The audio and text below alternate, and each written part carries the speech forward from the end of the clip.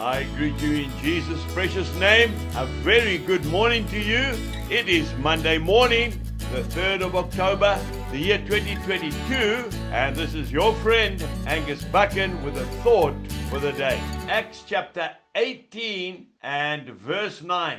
Do not be afraid, but speak, and do not keep silent. And then we go straight to Acts chapter 23 and verse 11. But the following night the Lord stood by him and said, Be of good cheer, Paul, for as you have testified for me in Jerusalem, so you must also bear witness at Rome. A very important directive. The Bible tells us that the Lord Jesus himself spoke directly to Paul at night in a dream, in a vision. He did not send an angel because of the importance of this commandment. By the way, this is the very scripture, Acts 18:9, which the Lord Jesus called me to go out and to testify and to speak up and to preach the good news to a dying world. Yes, I remember it so clearly. On the 17th of November 1989, while spending time in my prayer room, the Lord Jesus Christ spoke to me clearly in my heart, not audibly, and told me not to be afraid, but to speak and to not hold my peace.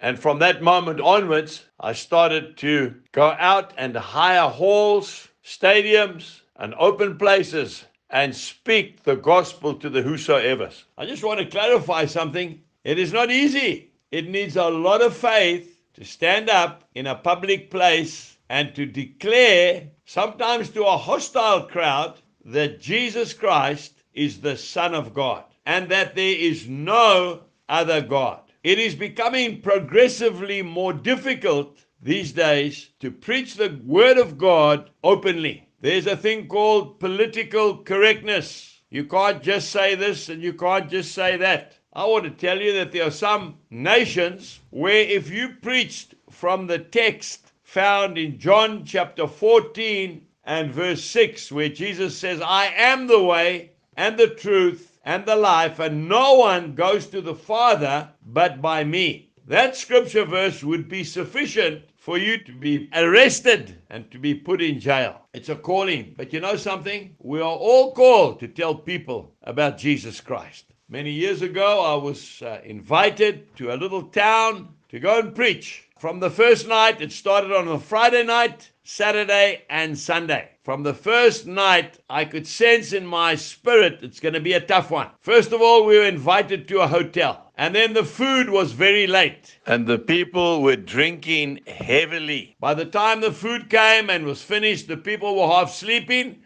and some of them were under the weather. Then I had to stand up in an open place and I had to speak. I preached my heart out. I made an altar call and no one responded. I will never ever forget it. That night I couldn't sleep. I tossed and turned. I said, Lord, I've got a farm. I'm a successful farmer. I don't need to do this. And then the next day I said, But I'll carry on, Lord. And we had the breakthrough. Sometimes it looks like nothing is going to happen, and then you have an incredible breakthrough. Keep telling people about Jesus. God bless you and goodbye.